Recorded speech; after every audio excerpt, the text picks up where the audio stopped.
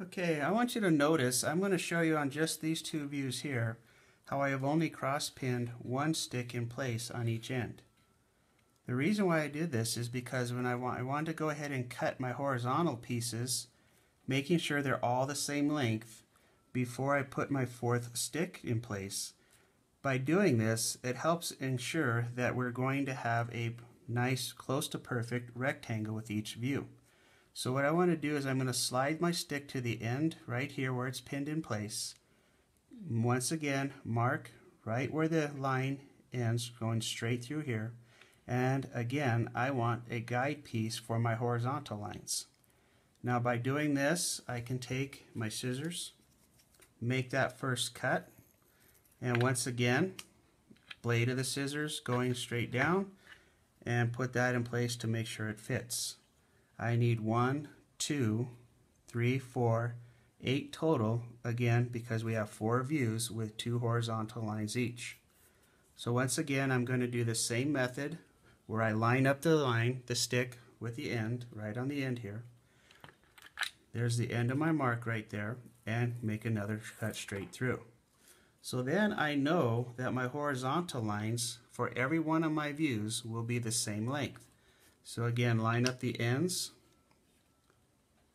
as close as you possibly can.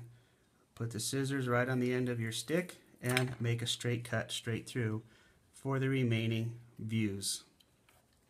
Now at this point we want to go ahead and glue these pieces in place and then pin them as well. So with your glue we're going to put a little bit of glue in the glue lid and I normally my rule is about the size of a dime because this is wood glue and it dries fast.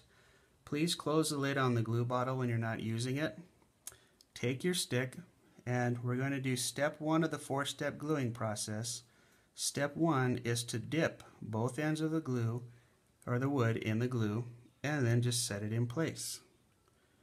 When you've done this to both ends, then we can go ahead and go back and take our vertical piece that we originally cut for stage one, slide it in place, and now when everything is straight, we can go ahead and cross pin our pieces together.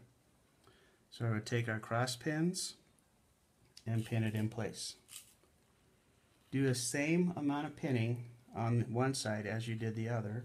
So again, here I want one pin in the top, one set of pins at the bottom, and one set of pins in the center.